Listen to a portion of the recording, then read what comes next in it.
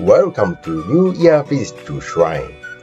Many Japanese visit shrine at New Year.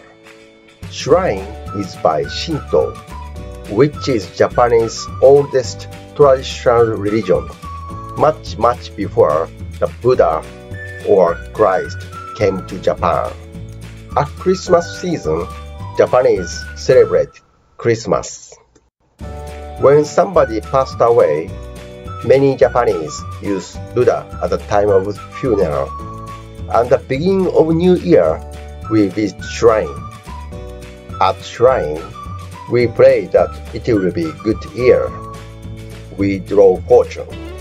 We invoke for some success or safety. We purchase talisman. Thank you very much for watching this movie. Happy New Year! Bye bye!